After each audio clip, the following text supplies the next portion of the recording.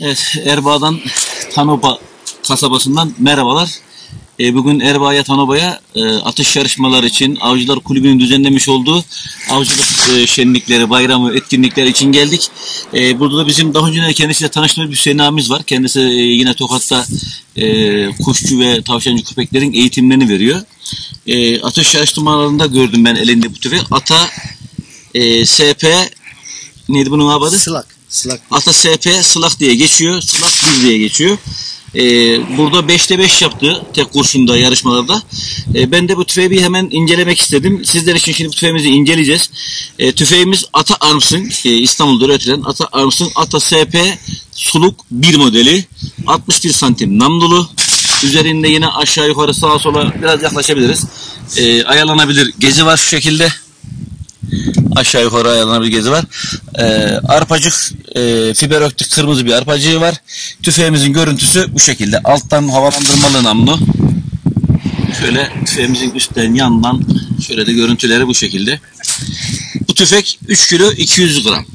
Tüfek 61 santim, sılah namlulu, 3 inç yani 76 milimetre fişek yatağına sahip 70 ve 76 milimetre uzunluğundaki fişekleri atabilme özelliğine sahip.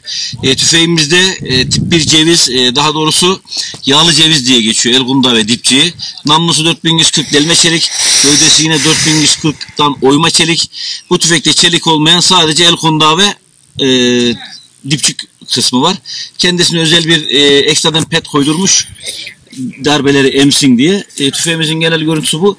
Tüfek güzel çok güzel geliyor. Yani e, vurması da gayet doğal. Tüfekte enjektör ve selektör var. Tüfeğimiz hem boşları atıyor kendisi. Kırdığımdan şöyle yaklaşabiliriz. Burada. Şöyle e, enjektörlü namluya sahip. Şu şekilde. Şurada da e, selektörü var. Yani alt namlu önce, üst namlu önce atma özelliği var. Bunlarda üst namlular alt namlulara göre e, bir daha dar. Alt namlular yakın hedefler için daha geniş. E, tetik tertibatına kadar çelik. E, tetik altuni kaplamalı bir e, bronz da denilebilir ama altuni gibi bir renkte kaplanmış. Başka bir özelliği e, dediğimiz gibi ateş ettiğimiz esnada boşu kendisi otomatik geri yatıyor enjektör ve selektörden de geriye çekip sola ileri gittiğimizde alt namluyu önce sağa çekip ileri gittiğimizde de üst namluyu önce atma özelliğine sahip. Dediğimiz gibi alttan e, sağdan ve soldan aşağı yukarı ayarlamaya özelliğine sahip bir gez sistemi var. Gezin üzerinde R ve right diye yazıyor. E, R sağ, right sağ, left sola ayar özelliğine sahip.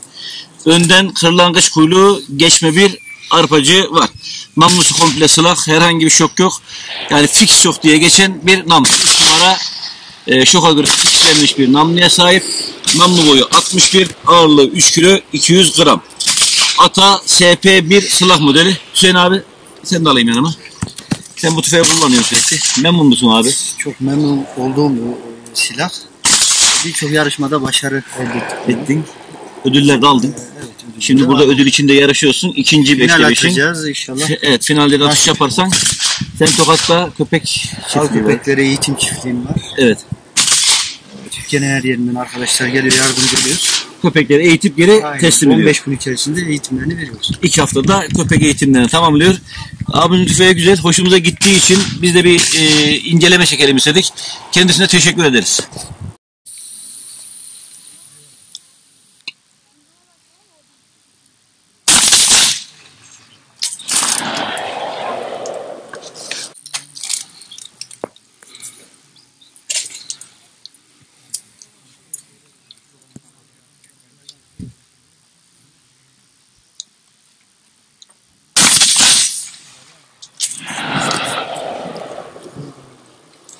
İkide bir Hüseyin Bulut.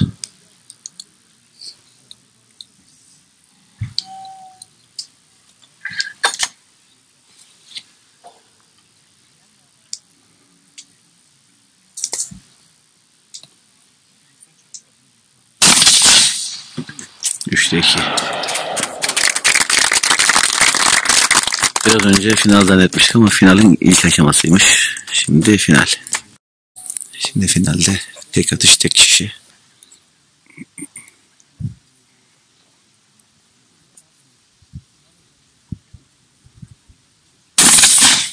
Evet tam göbekten efendim bulut.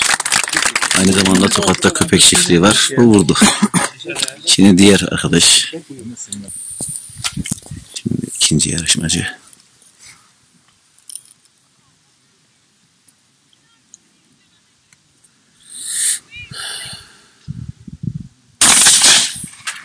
Evet, vuramadı. Birinci Hüseyin Bulut. Ödülleri dağıtalım. Şimdi ödül törenine geçiyoruz.